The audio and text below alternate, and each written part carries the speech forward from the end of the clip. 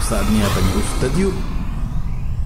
Bismillahirrahmanirrahim. Nah, ini pertanyaan panjang. Ya, inti pertanyaannya adalah ya, qadarullah Allah SWT takdirkan beliau ini cerai dengan istrinya dan keluarga sang istri ini Kristen. Ketika mereka cerai, mereka punya dua anak. Yang satu umur 2,5 tahun, yang satu umur 7 bulan. Nah, otomatis anak-anak umur segini ya oleh pengadilan dikasih ke ibunya. Ya dikasih ke ibunya. Kalau ibunya muslimah, tidak apa-apa dikasih ke ibunya. Tapi kalau ibu ibunya ini Kristen, harus diambil.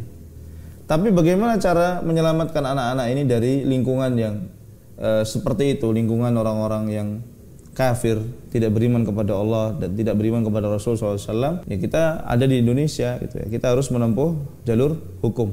Nggak bisa kita ambil-ambil aja anak kita. Jadi ada pengadilan di situ nanti ada hak asuh dimenangkan oleh siapa dan siapkan saja alasan-alasan antum kenapa antum ingin anak antum itu tinggal bersama antum. Jadi Islam juga menganjurkan seperti itu ya.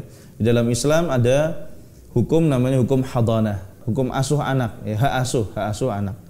Dan ini juga oleh Rasul Shallallahu Alaihi Wasallam diberikan kepada salah seorang dari ayah atau ibu dengan persidangan. Persidangan itu bisa nanti berupa anaknya kalau udah gede itu milih, disuruh milih oleh oleh oleh hakim ya, milih mau milih ayah atau milih ibu. Tapi kalau masih kecil, masih balita itu biasanya ya dibiarkan untuk ikut ibunya karena memang dia masih butuh kepada ibunya ya. Seperti itu di dalam pengadilan Islam.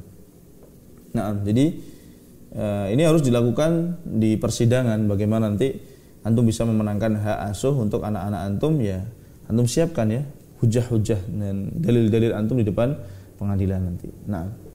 Santuy, saatnya tanya Ustadz yuk.